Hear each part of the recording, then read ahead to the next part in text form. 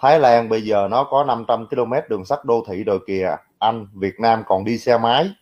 Nhưng mà bây giờ Việt Nam có cái lên mạc Thái Lan là đâu có đâu. Chơi không?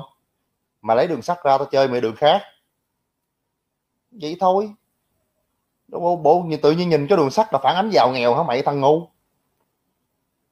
Nó bây giờ mà đi qua Pattaya kìa, trời đất ơi, cột điện đâu mà toàn là mạng nhện không à. Nó giờ đi ra Nha Trang có không? Vì tao nói Nha Trang hơn Pattaya mày chịu không? Chủ tre, tự nhục, biết quen. Em thấy đi đi đi so sánh Thái Lan khập khiển và không phe. Thì đương nhiên là không phe rồi, nhưng mà thích so thôi, chứ làm gì cắn.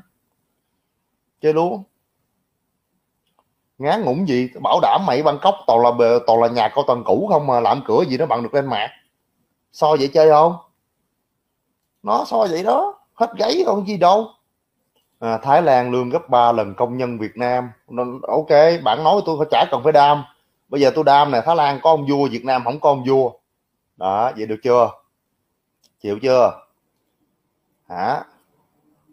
Thái Lan bất ổn chính trị Việt Nam ổn định chính trị chịu chưa? Sồn khí khô.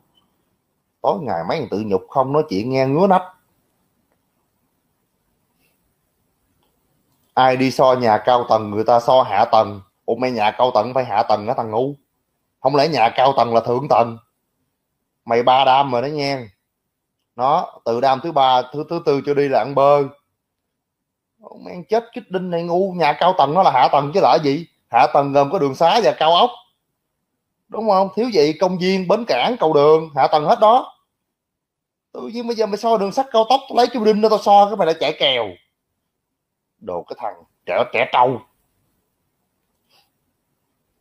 Ít ra mày khôn á thì mày lấy cái sân bay ra mày mày đam lại. Mẹ ngu mày đặt đam với kim chúa à mấy em?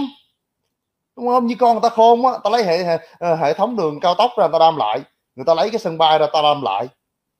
Mày ăn ti của Duy Nguyễn mà cũng ngu nữa không biết đường đam. Chọi pháo người ta phải lựa pháo nào chọi Duy Nguyễn đỡ không được. Nó chịu thua luôn cho nhanh. Nhưng mà đời nó chịu thua được kiểu nào đam trả được. Đúng không? Còn thì chiêu cuối nữa người hoa nữa. Xong. Ẩn gì? Thì chiêu cuối tôi chơi người hoa.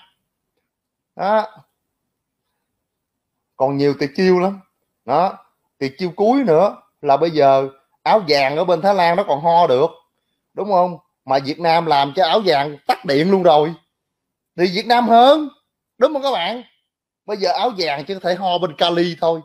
Nhưng mà ngược lại á, thằng Thái Lan áo vàng nó ho bên Bangkok cãi không? Sao cãi nổi? Trình chim chip không mà đôi đôi đam như để bòn.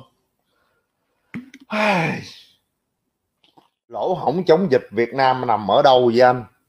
Lỗ hổng chống dịch của Việt Nam nằm ở ngày xưa, nhân từ quá không có làm cái cuộc cách mạng vô sản triệt để với mấy phản động. Di vừa nói đúng không các bạn?